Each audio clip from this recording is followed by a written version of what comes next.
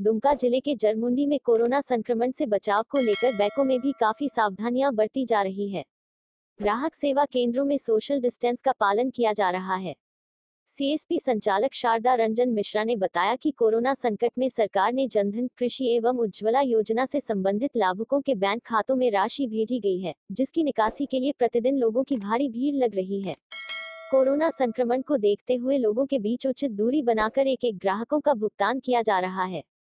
दुमका से कुणाल ये शांतनु पब्लिक का सुविधा के लिए किए हैं ताकि यहाँ भीड़ नहीं लगे हैं और एक दूसरे कस्टमर से एक मीटर की दूरी में रहे ताकि उन लोगों को कोई तरह का कठिनाई नहीं हो। किए हैं कि ताकि देखिए आप हम रस्ता से घेर दिए हैं गोल का नंबर लगा दिए हैं और कस्टमर को हम नंबरिंग करके नंबर नंबर करके बुलाते हैं। जैसे नंबर आता है उसी नंबर से सबको पेमेंट करके और उसको हम भेज देते हैं।